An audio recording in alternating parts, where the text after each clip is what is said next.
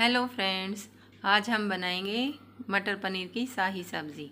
ये हमने एक कटोरी मटर ली है, जिनको हमने एक विसल आने तक बॉईल कर लिया है, थोड़ा नमक डालकर। चार टमाटर लिए हैं, दो हरी मिर्च, जिनको हमने मिक्सी में पीस लिया है। ये है अदरक, लहसुन और प्याज का पेस्ट। इसके लिए हमने चार प्याज ली है, बीस कली लहसुन की ली है और एक इंच अदरक का टुकड़ा लिया है। इनको भी हमने बारीक पीस लिया है। ये 200 ग्राम पनीर है। ये हमने घर पर बनाया है। इसकी वीडियो देखने के लिए आप आई बटन पर जाकर देख सकते हैं। पनीर बनाने से पहले आप पनीर को आधे घंटे के लिए उबले हुए पानी में डुबो कर रख दें, जिससे कि ये सोप भी हो जाएगा और थोड़ा फूल भी जाएगा। इससे पनीर बड़ा अच्छा बनता है। कढ़ाई में हम दो चम्मच सरसों का तेल डालेंगे। तेल गरम हो चुका है। अब इसमें आधी चम्मच जीरा डालेंगे। इसमें हम प्याज, लहसुन, अदरक का पेस्ट डालेंगे और इसको दो मिनट तक भूनेंगे।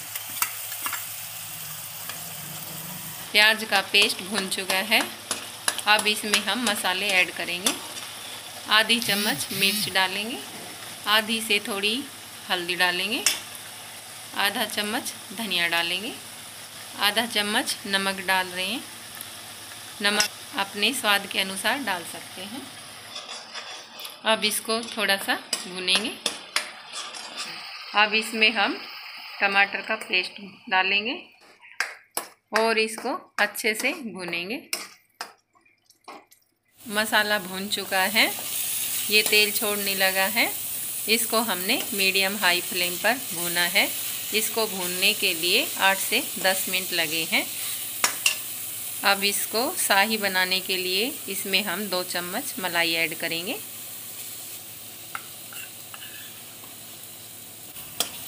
इसको भी हम दो मिनट के लिए भून लेंगे। मलाई भी भून चुकी है और मलाई अपना घी छोड़ने लगी है। अब इसमें हम दो चम्मच मटर पनीर का मसाला ऐड करेंगे। अब इसको एक मिनट के लिए भूनेंगे। मसाला भून चुका है। अब इसमें हम एक गिलास पानी ऐड करेंगे। इसे अच्छे से मिक्स करेंगे। अब इसमें मटर डालेंगे।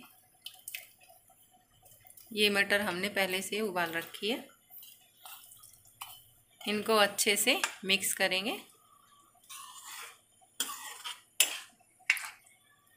इसमें उबाल आने के बाद पनीर डालेंगे। इसमें उबाल आ गया है। अब इसमें हम पनीर डालेंगे।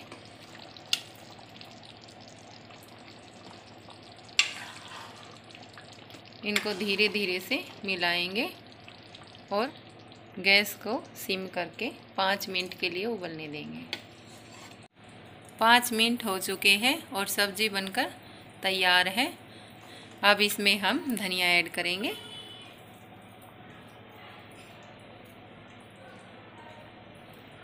गैस को बंद कर देंगे और इसको हल्के हाथ से मिक्स करेंगे। अब इसको हम एक बाउल में निकालेंगे।